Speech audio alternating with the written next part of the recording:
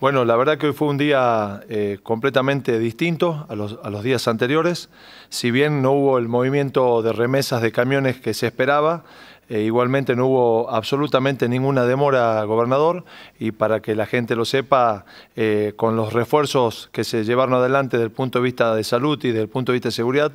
se trabajó absolutamente normal. Mañana seguramente con las remesas y viajes de camiones para el día que esperamos de mañana, va a haber más movimiento, está todo preparado el sistema, no puede ni debe haber demoras eh, este, muy significativas, con lo cual el sistema ha funcionado y va a funcionar aún mejor este, el día de mañana, a pesar de que va a haber eh, seguramente más este, eh, afluencia de camiones.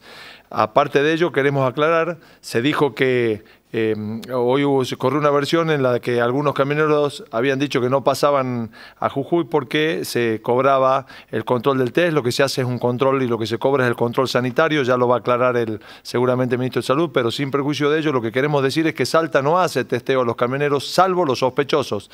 que en ese caso no cobra, al igual que Jujuy. Aquellos casos sospechosos que deriven del tomado del estado febril, por ejemplo,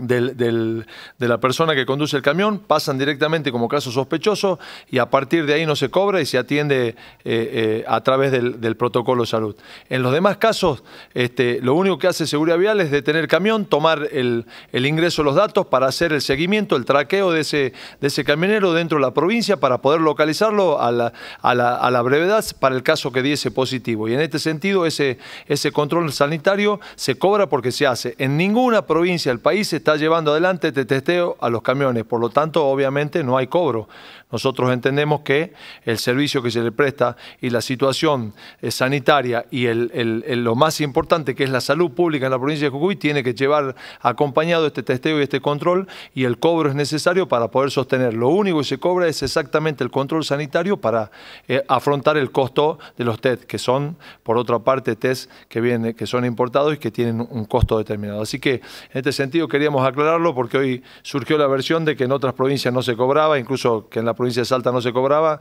En Salta se hace pura y exclusivamente y únicamente el, test que da eh, la persona que da con eh, posible este, caso sospechoso. En ese sentido se hace el test y se lo hace gratuitamente, al igual que en la provincia de Jujuy. Luego, a todos los demás camiones que ingresan a la provincia de Jujuy, se le hace el test, se le hace el control y se lleva adelante el protocolo correspondiente para el caso que sea un caso sospechoso. Muchas gracias.